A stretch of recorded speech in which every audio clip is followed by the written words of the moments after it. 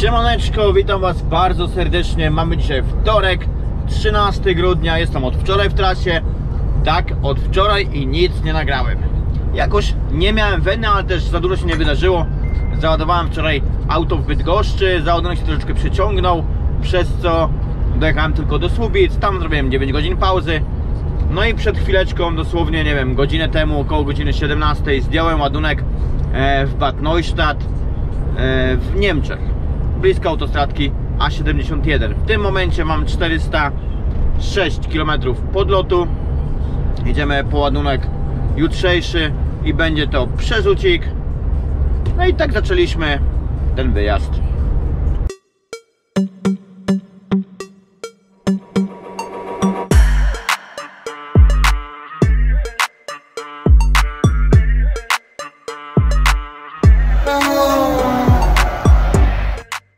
Jest już po 21, zostało mi 10 minut jazdy i wjechałem na ostatnią w sumie stację, e, na którą mogłem wjechać w tym czasie. Stoję tam, jak widzicie. No jakąś tam miejscówkę mam, ale idę zobaczyć, czy bym mógł stanąć gdzieś tutaj z przodu, bo tam stoi koło chłodni. Ale jakbym nie musiał jej słuchać, to by było też fajnie, nie? Tej chłodni w sensie. Ale tutaj widzę, że kolega stanął. Jak stanął. I tutaj z miejscem jest słabiutko. Najważniejsze, że jest miejsce. Dobra, co idę do kabiny. Pokażę Wam w ogóle, bo oglądam mecz y, Argentyna-Chorwacja przez internet, bo znajomy podesłał mi fajną kartę do internetu i muszę Wam powiedzieć, że się sprawdza, więc podzielę się z Wami e, tą tajemnicą. A tutaj zobaczcie, przestaje mi świecić jedna lampeczka. Świeci, ale słabiej. O, ta tutaj. Chyba dostała wody, nie wiem, może pękła.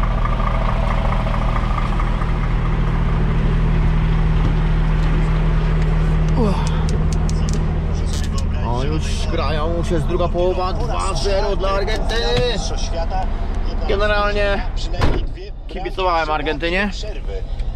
Trzech poprzednich przypadkach Chociaż e, lubię i Chorwatów ze względu chociażby na Juranowicza, który grał kiedyś w Legii. w 2014 oczywiście Niemcy, Brazylia, no było jeszcze gorzej. A karta, oczywiście, już pokazuję, już szukam. Można zamówić w internecie.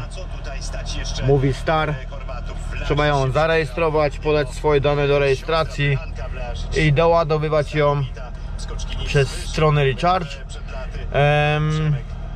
I kosztuje, mnie kosztowała chyba 220 zł z przesyłką. No i mamy 140 GB internetu praktycznie w całej Europie za 20 euro miesięcznie, więc w moim przypadku na pewno się opłaca. Dobra, mecz.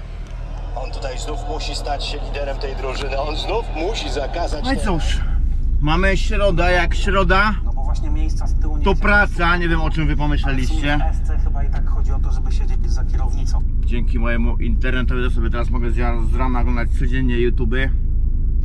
Zakładamy czapeczkę. I ty możesz zostać świętym Mikołajem. Nie, powoli się zbieramy w drogę. Zostało tam, nie pamiętam, 110 km chyba do, do dojazdu. No i cóż, no i firanki pozwijać i się brać do roboty. A tutaj mnie Dafik wita takimi napisikami właśnie od niedawna. że Trzeba przeprowadzić serwis. Zostało jeszcze chyba 10 tysięcy kilometrów do tego serwisu, więc na spokojnie ogarniemy to. Nie wiem w sumie właśnie, czy na zjeździe, czy między świętami a Sylwestrem pojadę zrobić przegląd. Z tym, że ja robię na ESA przeglądy. No mógłbym pojechać do DBK, a to się wiąże z tym, że tam się długo czeka, bo oni muszą pytać o to, czy mogą robić przegląd do tego pakietu, który ja mam. Mm, No bo mój pakiet jest podpisany jakby pod serwis macierzysty ESA. Też tutaj była zmiana, nie wiem czy wam kiedyś o tym wspominałem, bo mm, DAF jest kupiony i pakiet, wszystko było kupione od Wanickiego, ale że te serwisy Wanickich są dość daleko, no bo one są e, na południu Polski z reguły. Więc przepisaliśmy te serwisy na ESE i, i z tą ESą zostaliśmy. Więc taka sytuacja. Jeżeli chodzi o, o te sprawy, nie? No, 97 km. Dobra godzina, jesteśmy na miejscu, mamy na 10, więc będziemy przed czasem, bo jest 8.13. No chyba się coś wywinie, no bo to są tylko Niemcy, a wiadomo, że Niemcy, te niemieckie drogi to jest po prostu stan umysłu.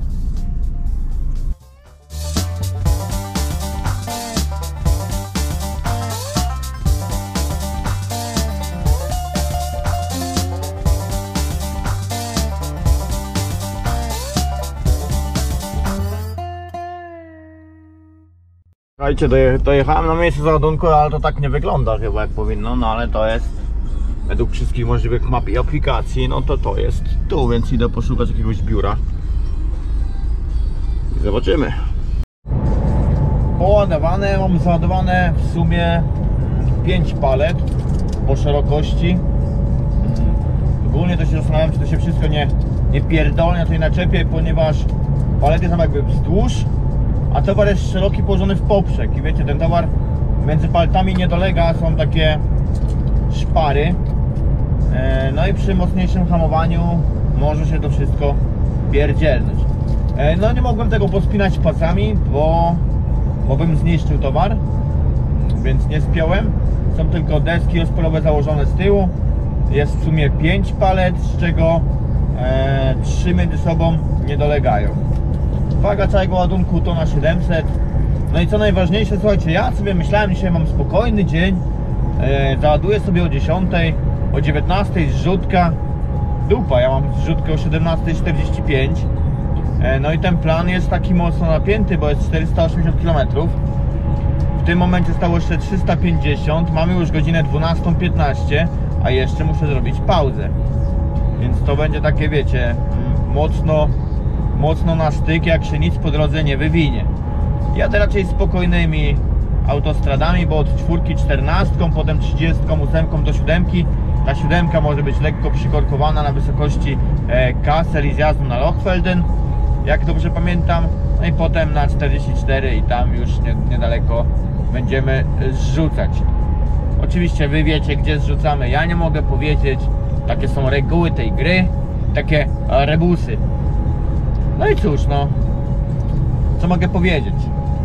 Trzeba to zrobić. E, no bo jak jest robota, to trzeba ją wykonać. Chwila przerwy. Wróciłem z toalety. Byłem e, na toalecie. Obiadek już jest zjedzony. Teraz sobie robię herbatkę rumiankową, która ma mi pomóc na moje problemy żołądkowo-jelitowe. Takie jakieś drobne, więc bez strachu. No i cóż, 100 km zostało. Najważniejsza informacja dnia jest taka, że już mamy robotę na jutro przygotowaną. Ładujemy go o godzinie 11. Zasuwamy do Austrii, gdzie tam gdzieś koło godziny 23 koło północy będziemy zrzucać. Robiliśmy już taką trasówkę, nie wiem czy pamiętacie. Jechaliśmy takim fajnym, fajną drogą przy takim pięknym jeziorze. Pokazywałem wam to, więc jedziemy w to samo miejsce. Na naczepę też wam zdradzę, że zerknąłem. Nic się nie poprzewracało na szczęście. No a miało prawo, no bo takie przerwy, co właśnie widzicie, mogło się tam wszystko wykolebotać, nie? No i tyle, no. E, Co mogę powiedzieć, to to, że zauważyłem, że robimy fajne kilometry. Troszeczkę się tego obawiałem, bo no informacje z rynku transportowego jakieś najlepsze takie nie są. Czyli mówi się o tym, że tych fraktów jest coraz mniej. Mm, Na szczęście mm, jedziemy. Zarówno ja, jak i Skania te kilometry nabijamy. Jest środa, jak zakończę dzień, będę miał 1700 km od poniedziałku, więc te kilometry są w miarę. Oczywiście zawsze można powiedzieć, że może być lepiej, no ale no, no nie przesadzajmy. Jest dobrze. A czy transport się opłaca? O tym też muszę z Wami pogadać, bo dużo różnych fermentów się pojawia w związku z tym, że ja wiecznie gadam, że transport się nie opłaca. Więc ja to wszystko dzisiaj wytłumaczę. No ruszyłem, mam nadzieję, że o, teraz będziemy jeszcze lepiej widać. O co chodzi z tym, że ja wiecznie mówię, że się nie opłaca? Bo już nawet się przyczepił do mnie mój opiekun z McTransu. Mówi do mnie, Karol, ty kurde wiecznie gada, że się nie opłaca. No to rzutuje złe światło na naszą spedycję. No więc ja wyjaśniam. To po pierwsze dla mnie słowo nie opłaca się nie jest równoznaczne z tym, że ja nie zarabiam, bo ja zarabiam. Ale z mojej perspektywy wygląda to w ten sposób, że żeby ruszyć z transportem, musiałem wydać ja, jako ja 3 lata temu, około 140 tysięcy złotych.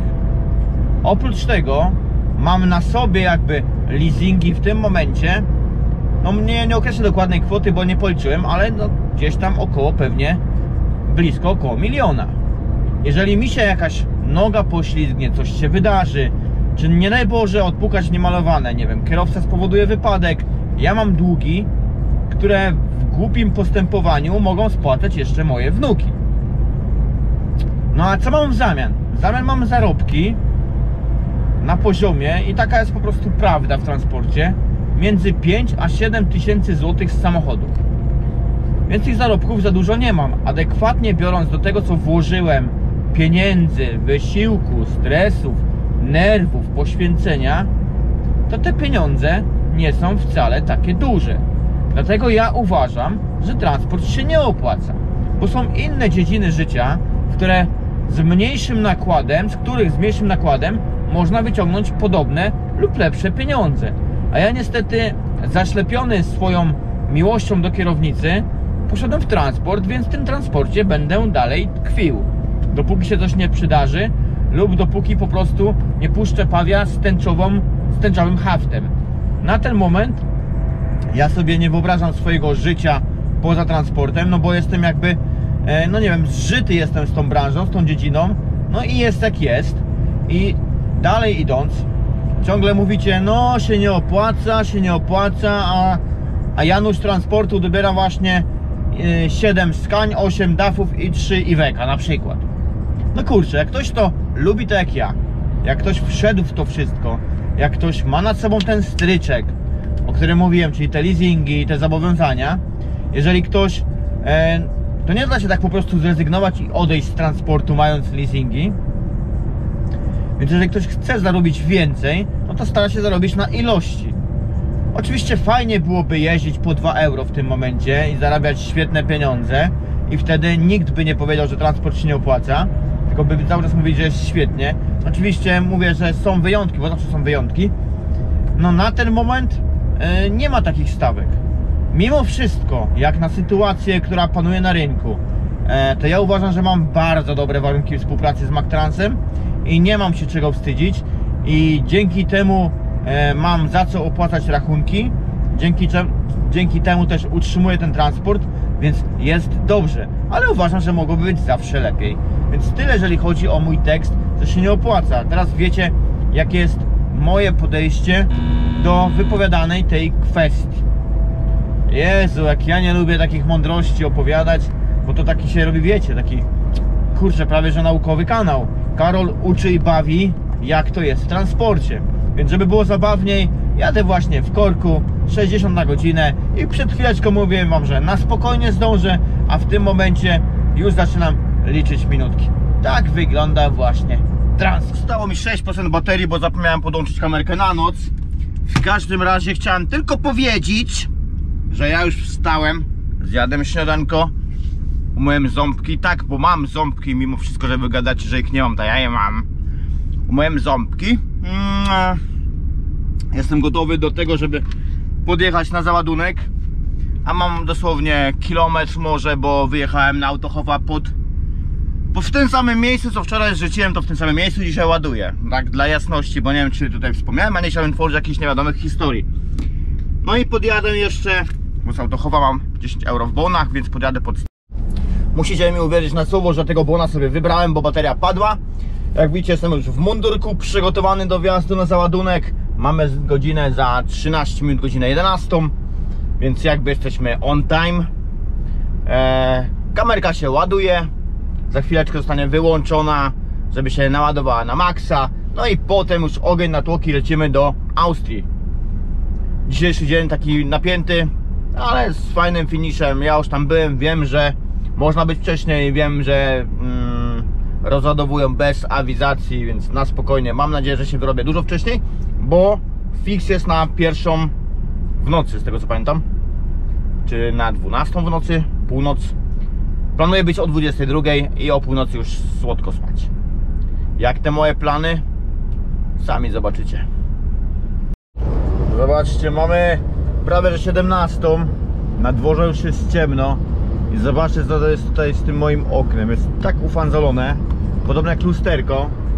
Druga strona podobnie i powiem wam szczerze, że już od poprzedniego ujęcia czyściłem to trzy razy. Nie ma to najmniejszego sensu. Po prostu no nie.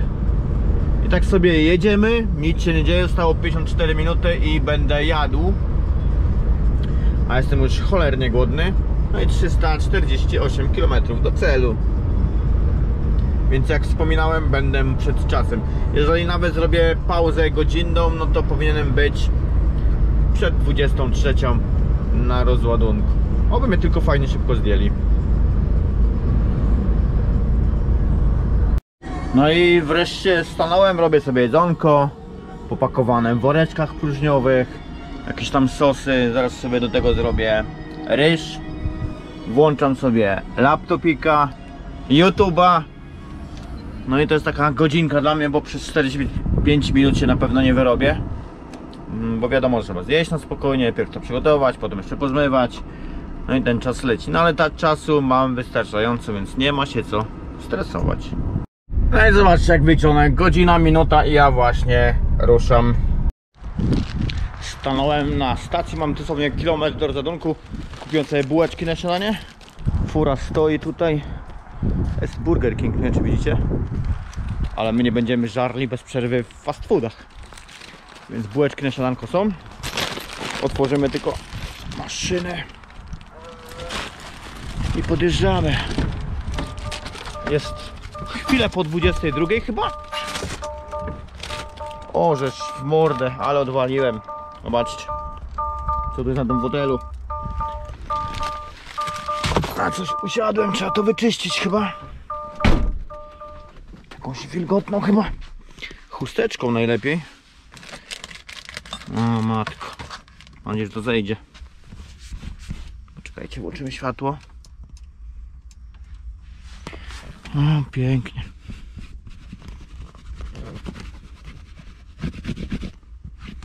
Śladu nie ma. Panie. Bardzo dobra robota. Ładnie, nie? Okej, dobra. To podjeżdżamy. Która jest? 22.06. Czy wszystko się zgadza? Lecimy. No ja jestem już rozładowany. Fura już zaparkowana. Tak sobie tutaj stoimy. Kurza mnie ta lampeczka, jedna przestaje świecić.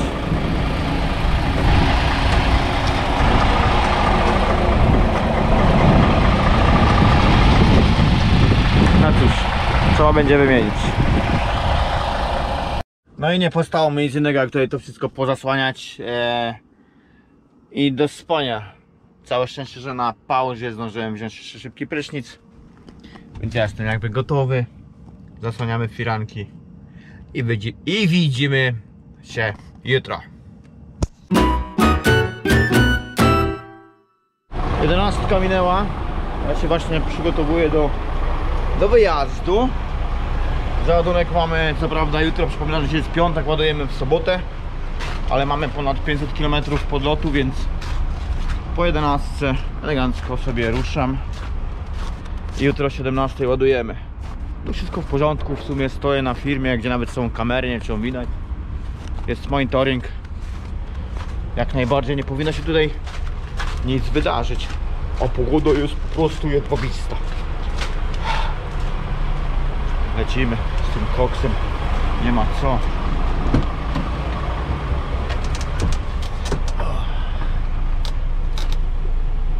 Ładnie, ładnie, ładnie, ładnie. No i dobra. Startujemy. Firmę trzeba objechać z prawej strony.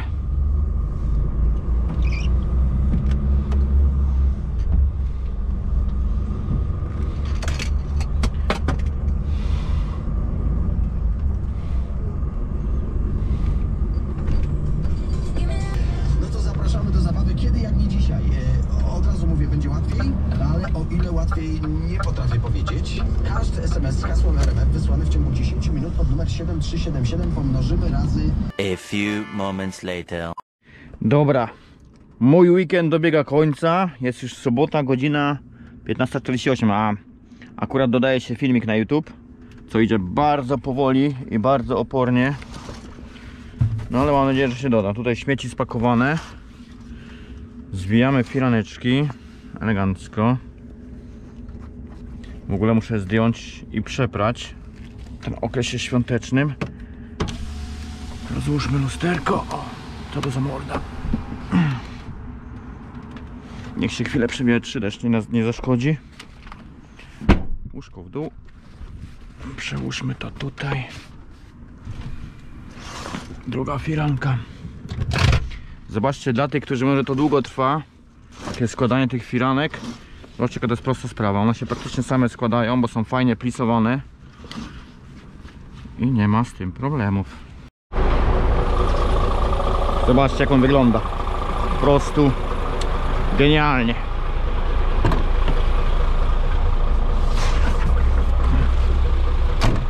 Ciekawe, czy gdzieś jest woda.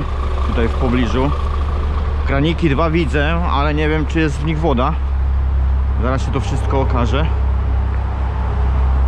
Teraz zobaczymy. Jest. Jest jakby pół biedy.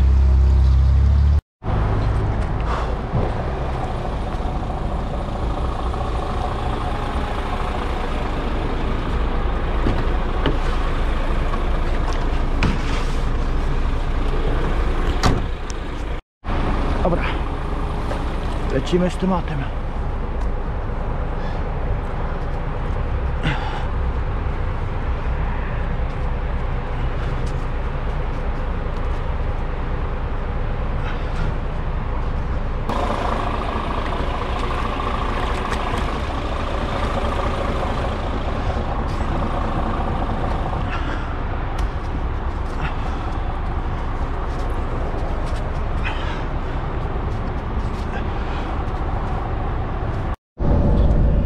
No dobra, pędzimy. Wiecie co jest najlepsze? Że błędy nie zgasły. Ten od e, EABS-u, a EBS-u i od e, tempomatu, więc tempomat aktywny mi nie działa i to hamowanie samo też mi nie działa, więc muszę muszę pilnować pedału i drogi, no ale to jakby norma.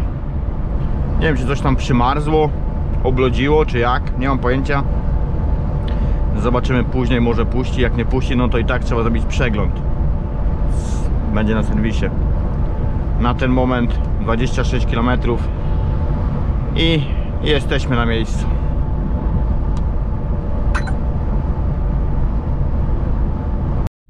Dojechałem, ale jest dość spora kolejka przed bramą. Tam widzicie w tle laptopa, na którym cały czas zgrywa się filmik. Jest już nieźle, bo już jest 72%.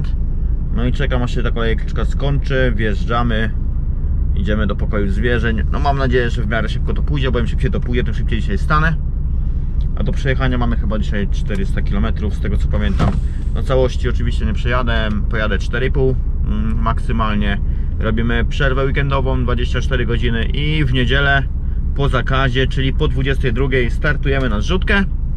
Podlecimy, rzucimy pauzunia i w poniedziałek dalsza robota jaka, to jeszcze nie wiem. No ale też zbliżają się święta Bożego Narodzenia, więc do czwartku moje samochody zjeżdżają. Czwartek to jest 22 grudnia. No i wtedy jakby kończymy ten nasz cały trip. Słuchajcie, ja właśnie skończyłem sprzątać i, i byłem już e, na stacji. Kupiłem sobie zestaw, bo dzisiaj jest niedziela. Jak jest niedziela, to jest finał Mistrzostw Świata, więc jest zestaw na finał. Właśnie włączyłem laptopa i będę szukał transmisji na TVP Sport. No i kurczę, ta niedziela jakoś tam ucieka. Mamy już, no w sumie tak jak mówiłem, jest za 15, czwarta. Kilka godzin jeszcze i trzeba będzie ruszać. Gdzieś tam po 22.30 będę startował. Przedtem jeszcze jakaś krótka drzemka pewnie wpadnie. No ale dzisiaj najważniejszy jest finał i wiecie co? Mm, na Francuzów. Nie wiem dlaczego, ale podoba mi się ich futbol. Stałem na Francuzów. Grają fajnie. Zobaczymy, aczkolwiek jak wygra Argentyna, to też mi jakoś przykro nie będzie. Jestem po prostu, e, jeżeli chodzi o te dwie drużyny, jestem uniwersalnym kibicem piłkarskim. a jakoś tak bardziej po stronie francuskiej.